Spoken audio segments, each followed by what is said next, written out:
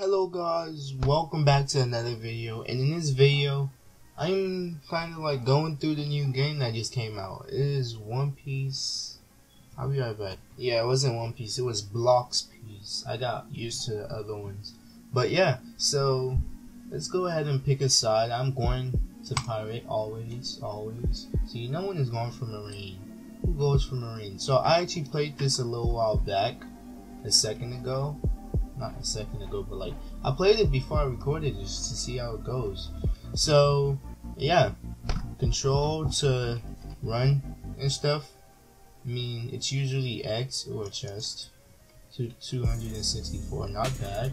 So, what I like about this game, I mean, I'm not gonna go into like, into like, like just right away as soon as I got, got into the game, but like, there's a special thing that you don't see in mostly every other games. So like in every other games, you have to buy. You can either find the Devil Fruit, or you can buy it for Robux. But in this one, you can buy it.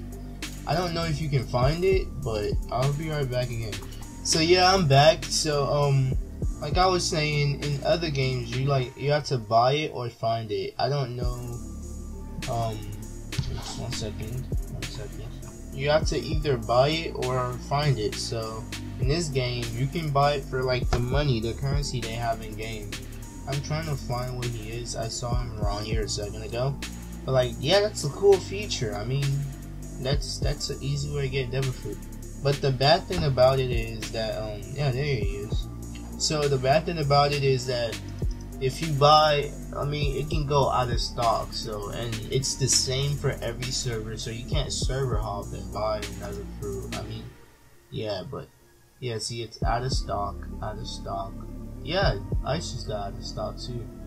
Damn. Yeah it refreshes it. It refreshes every two days. Oh never mind it's in two hours. My bad. I think it's days. I, am stupid. I thought something else. But yeah, so I will try to farm some fruits to showcase to you guys. So you can see Spike, Chop, Bomb, whatever you name it, it's there. So refreshing. I think it's daily. I don't know. So yeah, this game's pretty cool.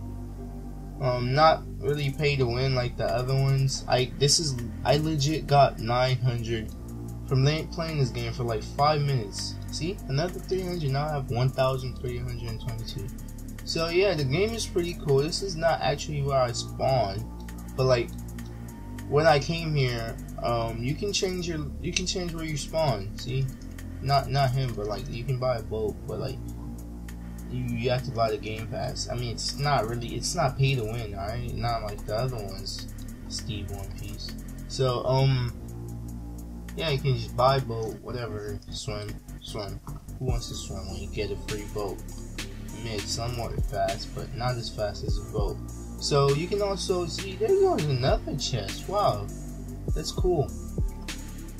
Okay, so yeah, I just, I'm mostly at 2k right now, basically.